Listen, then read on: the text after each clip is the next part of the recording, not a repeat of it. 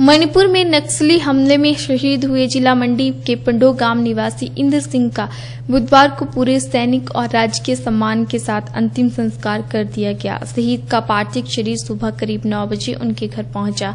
तिरंगे में लिपटे पार्थिव शरीर को घर के आँगन में अंतिम दर्शनों के लिए रखा गया, लेकिन शत विशत शब्द होने के कारण परिजनों को सब खोलकर नहीं दिखाया जा सका।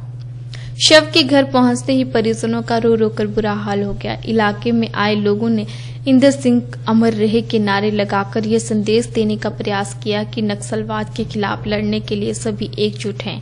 घर पर अंतिम दर्शन करवाने के बाद शहीद की शव यात्रा शुरू हुई, जिसमें सांसद रामस्वरूप शर्मा, सदर के विधायक अनिल शर्मा, नाचन के विधायक विनोद कुमार जिला परिषद की अध्यक्षा चंपा ठाकुर, उपायुक्त मंडी मदन चौहान और एसडीएम सदर पूजा चौहान सहित अन्य नेता और प्रशासनिक अधिकारी भी मौजूद रहे।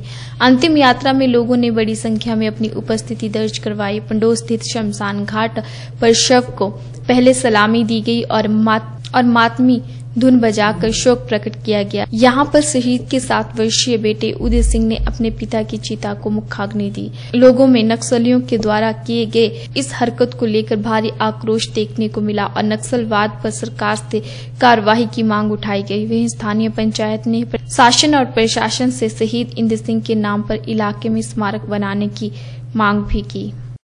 आज मेरा बेटा भी से सिखाया आज यार सब हुआ। अब क्या जाती हूँ मैं सरकार से, कैसे संभाल आप? तो सियानी बस्ता है खत्म होने और ये मेरा एक बेटा है, बेरोजगार एक मेरा पुत्र है। सरकार जो चाहे तो उसके लिए कुछ न कुछ दे भाई। कोई सहायता हो जाए तो उसकी मृद्धि करो, बस। बाकी क्या बोल सकती हूँ? मैं तो दुख में खत्म हो गई है।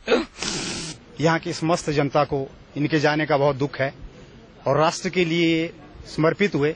इसके हमारे इलाके में इसका गर्व है और हमारी समस्त जनता की ये मांग है कि जैसे शहीद पूर्णचंद के नाम से यहाँ पेट्रोल पंप खोला गया ठीक उसी प्रकार इंद्र सिंह के नाम से यहाँ पंडो में गैस एजेंसी खोली जाए ये हमारी प्रशासन और सरकार से मांग है। वहीं सांसद राम स्वरूप शर्मा और विधायक अनिल शर्मा ने शहीद की शहादत पर अपनी संवेदनाएँ प्रकट की और सरकार की तरफ़ से पीड़ित परिवार को हर संभव सहायता देने का भरोसा दिलाया।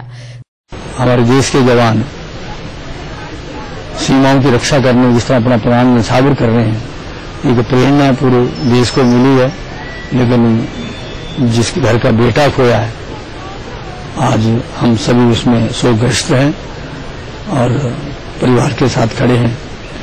और से जो भी हम कर पाए इस जीवन में, इस परिवार के लिए, वो बहुत कम हो। वो देश के लिए उन्होंने कुर्बानी की है। उसके लिए सारा देश उनके साथ साथ है। हमारे सभी लोग आज यहाँ पर शामिल हुए हैं और हम इनके परिवार के लिए जो भी हो पाएगा हम अपनी तरफ़ से करेंगे और पूरा प्रयास करेंगे कि केंद्र सरकार जिस तरीके से शहीदों के लिए कर रही है, वो हमारे लिए बड़ी गाँव की बात है।